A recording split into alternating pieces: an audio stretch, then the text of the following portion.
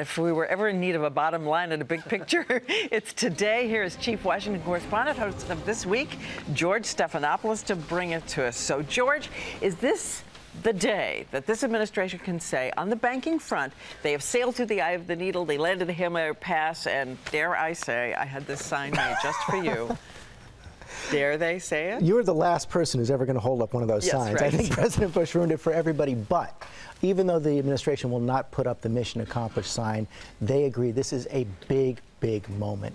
Here's why. As Bianna was suggesting, none of the 19 big banks now, according to the government, are insolvent. Remember, the first job to fix this economy was to save the banks. The government believes that's possible.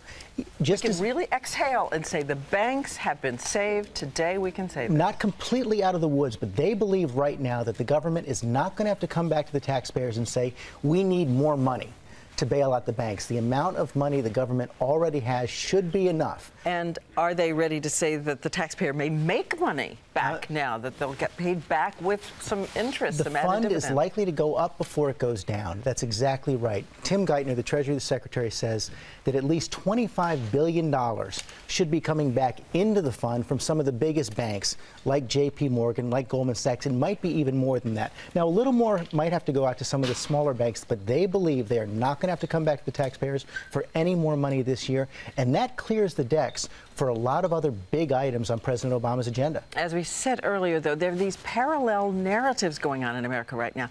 You have these improvements, this new confidence on the banking front, and yet the jobless numbers come out tomorrow. What are they looking for? What is it, 600? Can we put the number up there? Was it 640,000 last time we saw it? 663,000. And that's it is. significant job loss. That means the unemployment rate is still going to go up. But there was a number that came out just yesterday, a preliminary number on un- unemployment that showed the job loss last month was a little bit lower, below 500,000.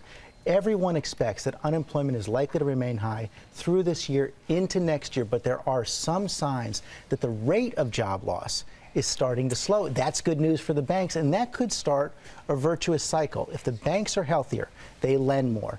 They invest, business invest more, jobs are created. That's the hope right As now. we saw, if it can just come down to 620,000, they will consider that advancing on the and there's some front. signs that it could be lower than that. Even lower than that. Okay, last thing. Going to see a turn now that this banking crisis is this week.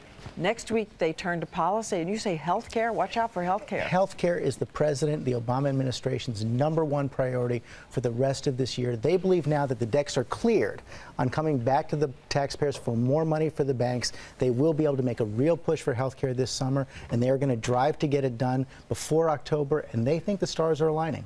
All right, I am getting rid of this. You're absolutely right. Thanks, George.